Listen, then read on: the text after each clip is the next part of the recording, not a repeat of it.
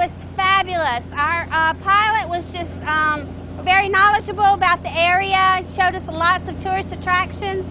Um, it was a, a flight of a lifetime. I really enjoyed it. My first flight, and I'll be really excited to do it again.